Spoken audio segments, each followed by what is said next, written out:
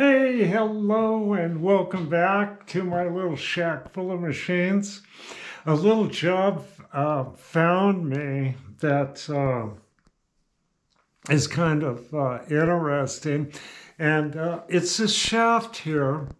And what this is, is um, a, a, business makes a uh, uh, this tool, and it's um, a line boring tool, and it's for repairing a, aluminum cases like a power transfer case or a motor, I forget which it is, but they kind of a clamshell fit, and uh, he can use um, uh, bearings, bronze bush bearings on the ends and uh, pilot this through and have a cutter in the center here that'll uh, trim a, a boss or, or a bushing so this uh, device can be rebuilt.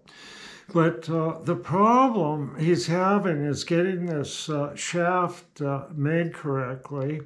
He's uh, he's got a lathe and he's a great machinist, but his lathe's kind of old and it's uh, just a, a standard uh, engine lathe, not a Monarch 10EE or something like that. But this uh, type of thing can be created, you know, uh, it just uh, on on a pretty warm machine um, with with with due care. So um, one of the things I want to point out in this video is the the fit of the bearings. Now the size here this shaft is three quarter inch, and the are turned down for. Um, uh, 5 eighths uh, bushings, okay? And the bushings will be shorter than the shaft here, and it'll travel through. I, I excuse me, I seen a completed shaft and it has a spring, uh, I think on this long end. So, it's probably powered with an air drill or something.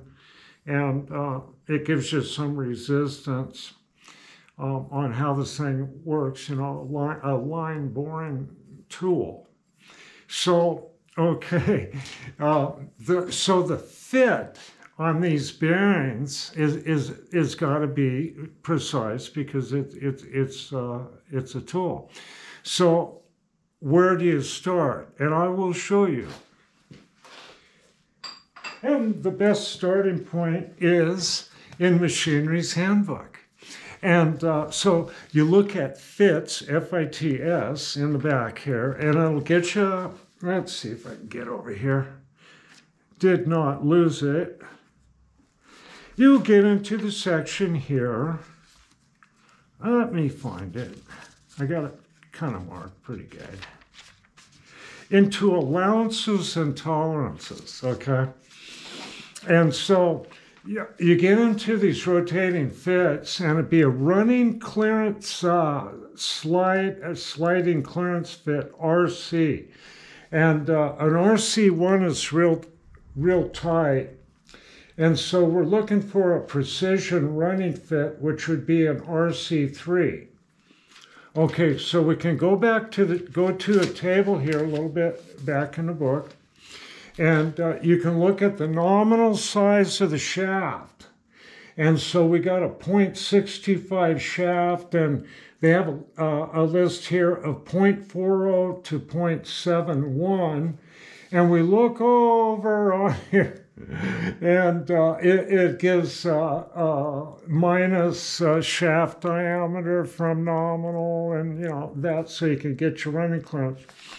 But the running clearance boils down to to uh, uh, six ten thousandths to one thousandths clearance uh, um, precision running fit at six. Okay, six ten thousandths to one thousandths. So um, you, you'd want it fairly tight, you know, but you still have to have lubrication in there. And in a plain bearing, a rotating shaft builds up a wedge and uh, so you, you got to have enough clearance so you'll have that wedge oil to keep uh, the bearing from uh, damaging itself. So let's inspect this shaft. There's some problems.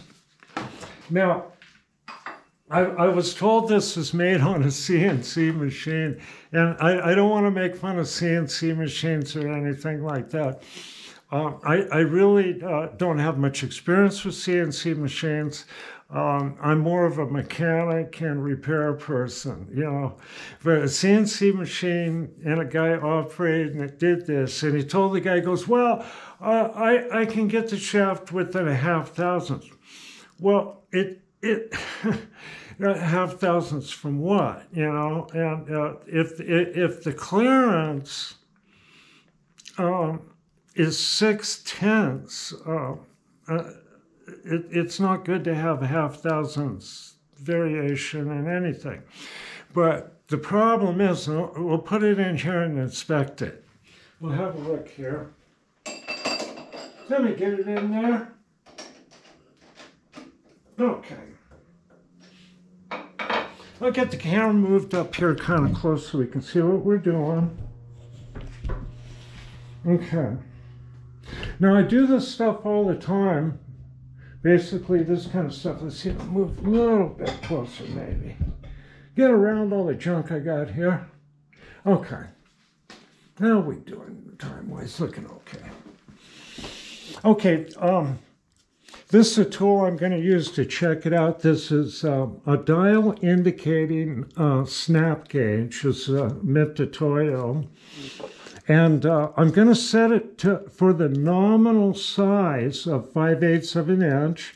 So I got a, a, a half inch gauge block with a, uh, um, eighth inch gauge block rung to it. So that makes uh, um, 0.625 and I'm going to roll it into the gauge. What, see? Now watch this. Just kind of roll that up like that. And then I'm going to walk that gauge block back in there. Wiggle it around a little bit until it feels just right. Then we'll have a look at the dial here. Oh, that's good. Look at that. Right on. So it's indicating when it's on zero, exactly 5 eighths of an inch within a, ten, within a 10 thousandths or a little bit better. Ah, a little drink of coffee there. Okay, so let's stick it on the work here. Uh, maybe I can move you just even a little bit closer here. I want you to be able to see the gauge and how I use this. Now I'm going to put the gauge on here and I'm just going to roll it forward like this. Oh, so delicately. Okay, going to see we're um, one thousandths under nominal size. Okay. So let's let's move it out to towards the end here. We'll move it out to the very end. Now I'm going to roll it again. Oh, okay, we got about three ten thousandths variance there. I'm going to check it in the middle. Uh, it's getting a little bit uh, pretty crappy there in the middle. Let's get back over here. Whoa. Okay, we got a, a lot of variance here, more than a thousandth of an inch on a journal that's supposed to have six ten thousandths uh, clearance, you know, for a minimum fit. Okay, let's move her back about center. Okay, let's get it over here. Oh, it's just way too much. About six tenths uh, under here. And I'm going to clock this thing just by moving it uh, about a third of a turn, let's say, huh? And see where we're at there. You see, this thing's not even round. So something happened when this was machined. I would suspect that a center or something was uh, loose or something, because it's it's about four tenths out of round, which is, you know, I, I've never had a machine that crappy. So something happened. But anyway, we've got, uh, okay, see, that we're back to just right around uh, one thousandths uh, under nominal. Let's move it to the center here. Look at that. See, we got another uh, 17 thousandths um, out. Uh, this is just really terrible. Whatever happened here, it's just not, that is uh, not a barren surface, okay? All right, I'm gonna set this back here. Let's have a look at that other end. See where we're at here? Okay, I'm gonna I'm gonna stop the video and I'll be back, okay?